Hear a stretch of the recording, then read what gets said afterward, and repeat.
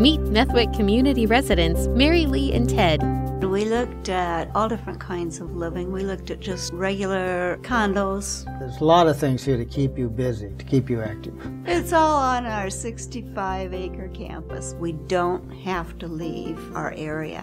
What always comes to me is the peace of mind that we have here. It's really great.